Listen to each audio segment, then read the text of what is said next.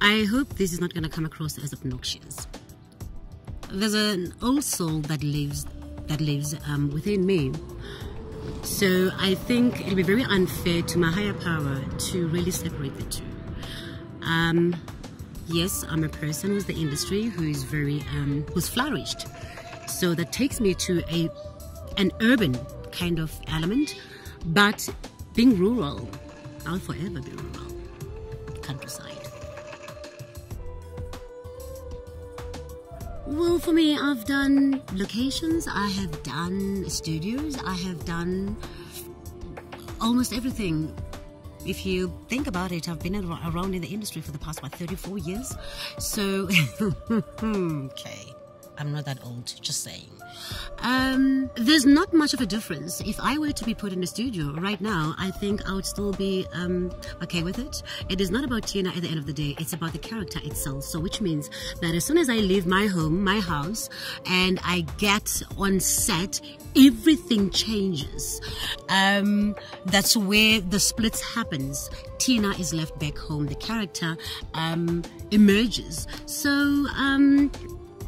There's not much of a difference. Um, be it you put me in the studio or be it you put me on location, May still remains May. So, yeah, I'm happy. Let's go back a bit to season one. Season one, May Gumede had a serious, mega, gigantic split personality issues. Um, she was a type of five personalities in one. She was belligerent. She was, um, you can't say psycho. One minute she's okay. The next minute, you know, she changes, flips like a, you know, a mad coin. Um, bipolar. I don't want to say schizo. That's taking it a bit too far. But I mean, just imagine a person who has five different personalities in one. That is May on season one. Now, May Gumede in season two, things changed she's introduced to her old soul, where you would bury um, those other four um, personalities, and now the main personality emerges because of various reasons, which I won't be able to share with anyone right now.